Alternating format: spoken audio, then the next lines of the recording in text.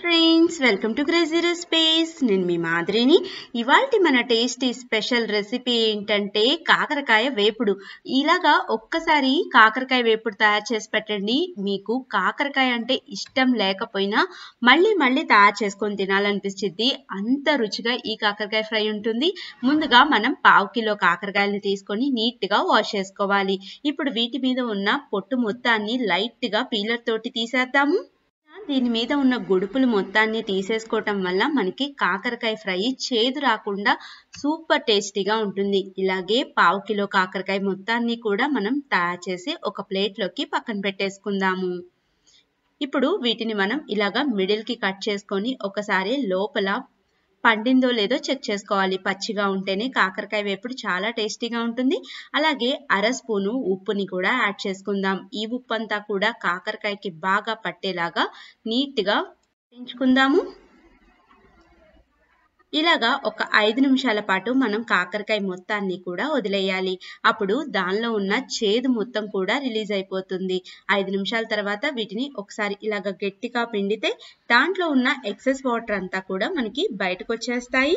ఈ కాకరకాయ మొత్తాన్ని కూడా మనం ఇప్పుడు ఫ్రై చేసుకుందాం. స్టవ్ మీద డీప్ ఫ్రైకి సరిపడా ఆయిల్ని పెట్టుకొని ఆయిల్ అంతా కూడా బాగా వేడయ్యేలాగా చూసుకోవాలి. ఆయిల్ వేడయ్యాక ముందుగా మనం తయారు చేసి పెట్టుకున్న ఈ కాకరకాయల్ని ఒక్కొక్కటిగా యాడ్ చేసుకోవాలి. ఇవన్నీ కూడా మంచి గోల్డెన్ రంగ్ కలర్ అయ్యేదాకా ఫ్రై చేసుకుందాం. కాకరకాయ వేగితే దాంట్లో ఉన్న చేదు మొత్తం కూడా పోతుంది.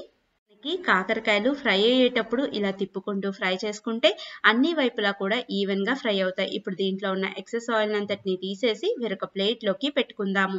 ఈ కాకరకాయలోకి ఇప్పుడు మనం ఒక కారాన్ని తయారు చేసుకుందాం. దీని వల్లే కాకరకాయ కారం సూపర్ టేస్టీగా వస్తుంది. దీంట్లోకి ఒక చిప్ప ఎండు కొబ్బరిని ఇలాగా చిన్న చిన్న ముక్కలుగా కట్ చేసుకొని మిక్సర్ జార్లోకి యాడ్ చేసుకోవాలి. అలాగే నాలుగు వెల్లుల్లిపాయ రెబ్బలు ఒక స్పూను ఉప్పుని అలాగే ఒక స్పూను కారాన్ని కూడా వేసుకుందాం. చేసుకుందాము ఈ కారం వల్లే కాకరకాయ కారం మొత్తం కూడా సూపర్ టేస్టీగా వస్తుంది. ఇప్పుడు దీంట్లోకి అర స్పూను జీలకర్రని కూడా వేసుకుందాము. అలాగే ఒక కప్పు పల్లీల్ని ముందుగానే వేయించి పెట్టుకున్నవి పొట్టు తీయకుండానే వేసుకోవాలి. అప్పుడే కాకరకాయ కారం సూపర్ టేస్టీగా వస్తుంది.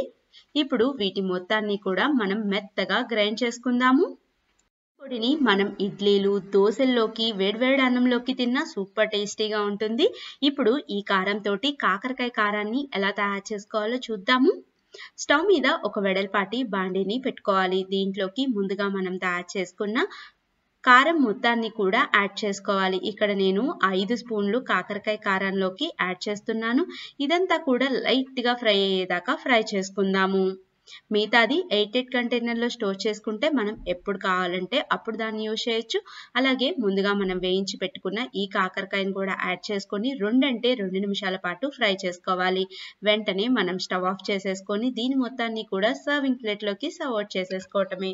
ఎంతో టేస్టీ అయినా కాకరకాయ కారం తయారైపోయింది. మీరు కూడా కంపల్సరీ ట్రై చేసి వేడివేడి అన్నంలోకి తినేసేయండి. మీకు కూడా బాగా నచ్చుతుంది. నా వీడియో నచ్చింది అనుకుంటున్నాను నచ్చినట్లయితే లైక్ చేయండి షేర్ చేయండి. నా ఛానల్ని సబ్స్క్రైబ్ చేసుకోండి. చేసుకోండి. సబ్స్క్రైబ్ చేశాక బెలైకాన్ని యాక్టివేట్ చేయండి. లేటెస్ట్ వీడియో అప్డేట్స్ అన్ని మీకు అవైలబిలిటీలో ఉంటాయి. Thank you for watching my videos bye bye